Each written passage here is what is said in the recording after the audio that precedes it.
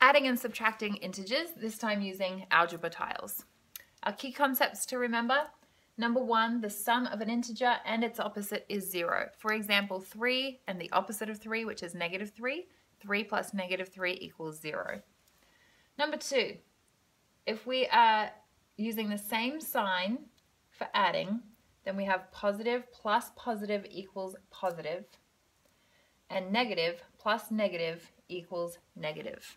So adding the same sign results in that sign for the answer. Number three, when we're adding different signs, we first find the absolute value of each integer.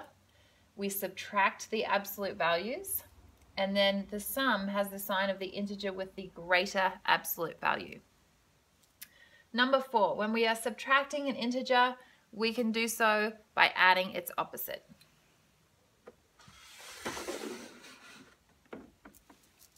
Adding integers using algebra tiles. We're going to use this uh, white square with the black outline to represent positive integers and this red square to represent negative integers. You will uh, see similar colors used when we use algebra tiles in the classroom. So if we have a positive 1 and a negative 1, they are opposites.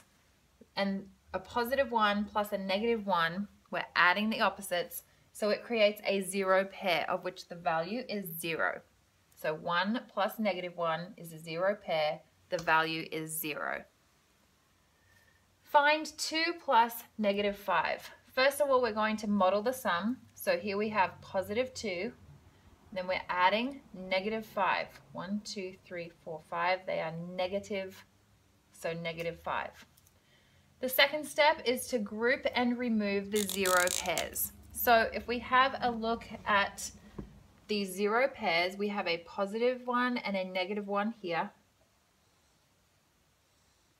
And we have a positive one and a negative one here.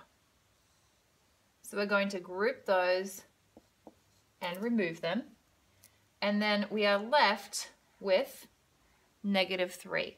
These are negative and there are three of them. So 2 plus negative 5 equals negative 3.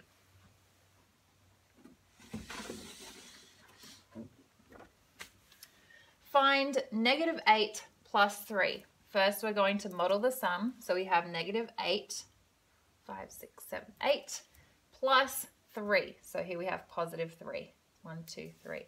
So first of all, we're going to group and remove the zero pairs there are three zero pairs. So if we group those and remove them, we are left with five negative tiles. So negative 8 plus 3 equals negative 5.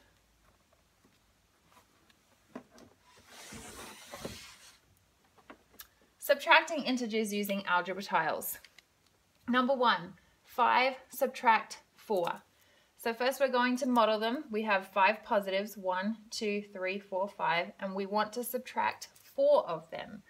So what we are going to do is we are going to get four positives and remove those, and we are left with one positive. So five subtract four equals one. Similarly, we know that if we are subtracting an integer, we can instead add its opposite. So let's have a look what that looks like. So instead of having 5 subtract 4, we can add the opposite of 4, which is negative 4. So now we have 5 plus negative 4. So we would start by modeling 1, 2, 3, 4, 5 positive, and then we are adding negative 4. 1, 2, 3, 4. So we can group and remove the zero pairs. There are four zero pairs, one, two, three, four, and we are left with a positive one. We have the same answer. So when we subtract an integer, we can get the same answer by adding its opposite.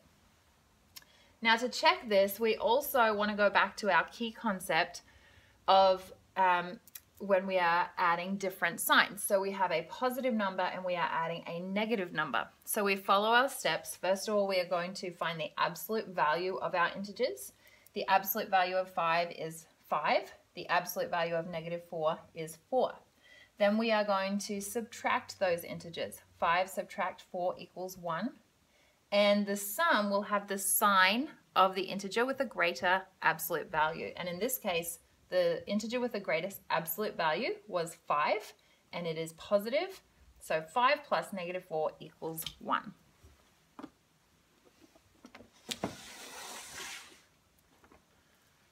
Number two, find negative 6, subtract negative 2. So first of all, we're going to model. We have negative 6 here, and then we are going to subtract. Now we can subtract negative 2 by just taking two of these negative tiles away. And we are left with negative 4. Okay, similarly, we know that if we are subtracting an integer, we can find the same answer by adding its opposite. So instead of subtracting negative 2, we're going to add the opposite of negative 2, which is positive 2. So now we have negative 6 plus 2. So we'll model that. We have negative 6 here plus positive 2. So we would start by grouping and removing the zero pairs and we are left with negative 4. Find 3, subtract 5. So first we model, we have our three positive tiles here. And in this case, there's not enough to subtract, so we add zero pairs. We can't take 5 away because we've only got 3 there to start. So what we're going to do is we're going to add zero pairs. So let's add a couple of zero pairs. And when we add zero pairs to a number, we are not changing its value. So if I've added two positives, I need to add, I need to also include two negatives. And that way they cancel each other out and they do not change the value of the number. So let's have a look now. We have 3 subtract 5 my value here is still 3 because I've got positive 3 and then I just added two zero pairs that didn't change the value of my number. So now I have enough to subtract 5 because I have 1, 2, 3, 4, 5 here. So what I'm going to do is subtract those and I am left with negative 2. So 3 subtract 5 equals negative 2. Similarly, we go back to our original concept of when we are subtracting an integer, we can find the same answer by adding its opposite. So instead of subtracting 5, we're going to add the opposite of 5, which is negative 5. So now we have 3 plus negative 5. We're going to model that. We have 1, 2, 3 positives, and we're adding negative 5. 1, 2, 3, 4, 5. That's negative 5. So again, we just group and remove any zero pairs. And in this case, we have three zero pairs. So remove those, and we are left with negative 2. So 3 plus negative 5 is negative 2.